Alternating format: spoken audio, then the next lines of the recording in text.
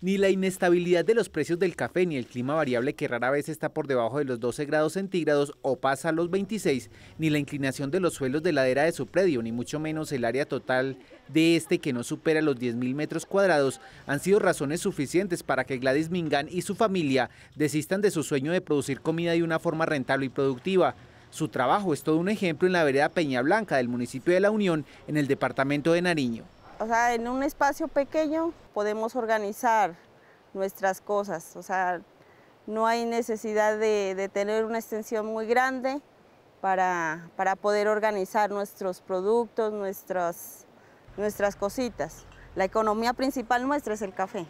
Eh, seguido va el banano, luego la, lo que es la miel, y ya luego los, los productos de pan coger. Dentro del cultivo de café tenemos plantas de banano, tenemos las plantas de plátano, las abejas. En los mejores años, la finca El Guayabito cosecha hasta 300 kilos de café pergamino, esto a partir de 4.500 árboles de café con dos especies. La economía alternativa se genera a través de 300 árboles que se tienen de otras especies de cultivos de pan coger. Hay matas de caña, eh, Dentro de, la casa tenemos una pequeñísima huerta casera, que tenemos lo que es las matas de uva, eh, moras de árbol, que es como para, para los animalitos, los pajaritos.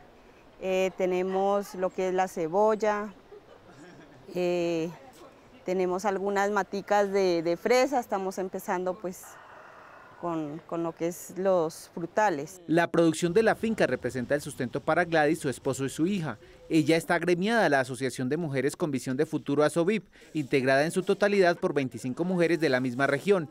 El café que ellas procesan se caracteriza, según cuentan, por la suavidad, aroma pronunciada, delicadeza y acidez alta, gracias a la presencia de limoncillo, toronja y mandarinas en sus cultivos. Cuerpo medio y notas dulces gracias al cacao y la caña panelera que también siembran en sus cultivos. Siempre hemos trabajado en variedad Colombia.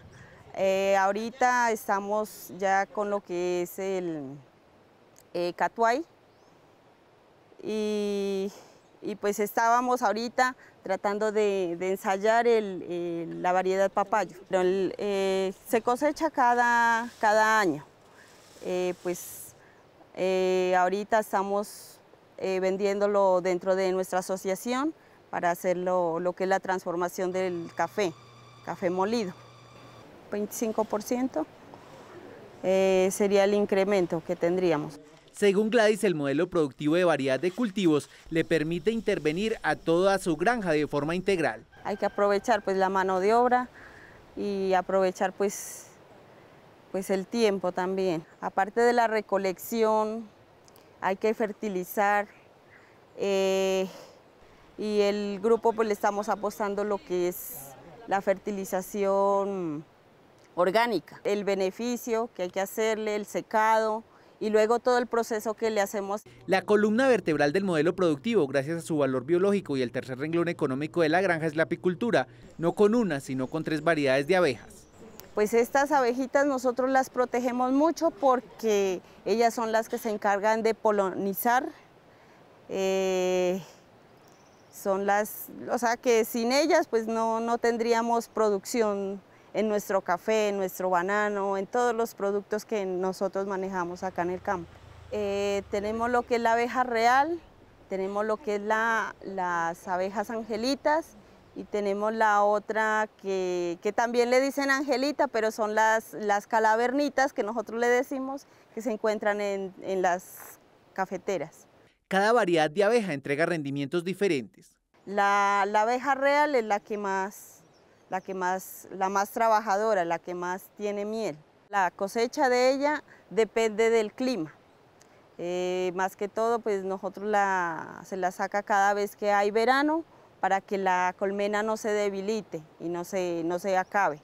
Eh, también están las abejas, las angelitas, que esas son, o sea, esas se las saca cada año. La producción de ellas es menor.